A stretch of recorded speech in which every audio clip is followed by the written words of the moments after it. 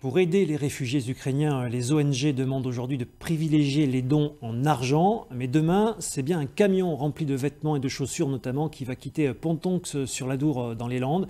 Des dons de chasseurs landais qui ont répondu à un appel lancé par une organisation non gouvernementale ukraino-polonaise. Alexandre Perrin, Laurent Montiel.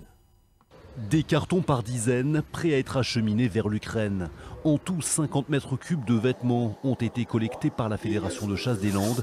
Des vêtements qui n'étaient plus utilisés qui serviront aux civils ukrainiens engagés dans le conflit avec la Russie. Et les chasseurs avaient dans leur armoire euh, euh tout un tas de vêtements chauds euh, qui correspondent bien sûr à l'attente de, nos amis ukrainiens. Donc il y a des vêtements, il y a des vestes polaires, kaki bien sûr, et des rangers, des bottes, des gants, des chaussettes, des bonnets. Et, et tout ça bien sûr c'est nécessaire à, à l'équipement de nos amis ukrainiens. Une collecte qui a mobilisé les chasseurs landais afin de répondre à l'appel lancé il y a 15 jours par une organisation non gouvernementale.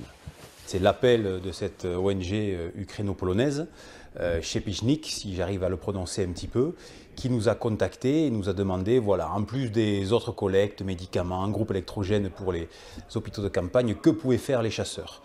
Parce qu'il y avait des besoins en vêtements euh, chauds, solides.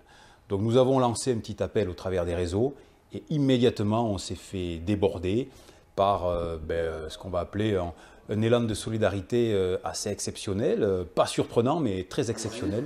Tout ce matériel doit maintenant être transporté en Ukraine dès demain matin. Parmi les conséquences économiques de la guerre en Ukraine, la flambée du prix des carburants